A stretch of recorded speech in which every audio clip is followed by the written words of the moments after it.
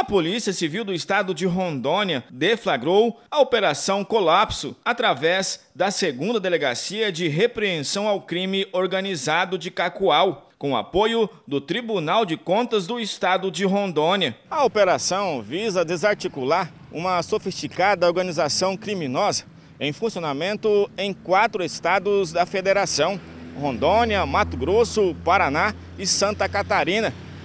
criada para desviar recursos destinados ao enfrentamento à Covid-19. A investigação revelou que o grupo criminoso tentou desviar a quantia de 37 milhões 656 mil reais, mediante a contratação fraudulenta de empresa destinada à gestão hospitalar do Hospital Municipal de Paraná, interior de Rondônia. O contrato, que chegou a ser assinado, previa a manutenção e ampliação de leitos de unidades de terapia intensiva e de centros de tratamento intensivos foram cumpridos oito mandados de busca e apreensão e três mandados de afastamento cautelar das funções públicas do Procurador-Geral do município, presidente da Comissão Permanente de Licitações e do Secretário Municipal de Saúde. A ação ocorreu simultaneamente em Rondônia, Mato Grosso, Santa Catarina e Paraná, contando ainda com o apoio da GAECO, Polícia Civil do Estado de Santa Catarina